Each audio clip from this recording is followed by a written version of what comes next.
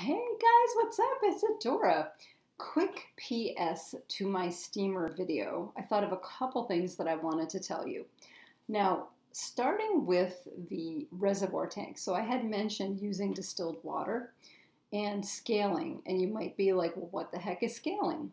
Scaling is when any impurities come through the reservoir tank, out through the steamer, and onto your clothes. Absolutely something to avoid. Second is the settings on this. So we've got our high heat and our low heat.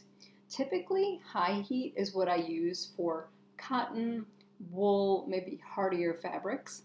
Now, in the same breath, silk is extremely hardy, and I've done great with the high heat setting.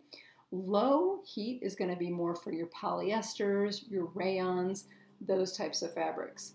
Really important to know do not, under any circumstances, use a steamer on acetate. It will melt like an ice cream cone. So please do not do that. I am always happy to share my knowledge. Like I've said before, you are the boss. Silk is not the boss of you, you are the boss of silk. You can definitely do all these things at home by yourself. I'm all about empowering people to do what they can, and there's a lot that you can do at home. Two things I'm very passionate about. The one the first is vintage clothing. You know I love vintage. And the second is saving money. So, if you want to learn more about those things, definitely hit subscribe. If you like what you've seen, please click like.